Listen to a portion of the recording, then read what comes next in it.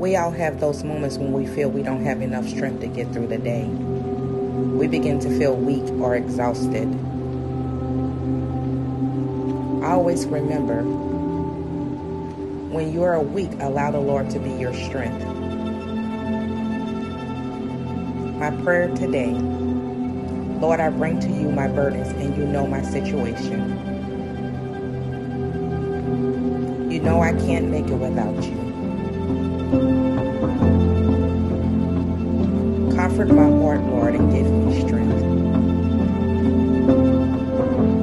I invite you into the weak places in my life so you can turn them into strength. Guide my thoughts so I will walk in love and peace and with gratitude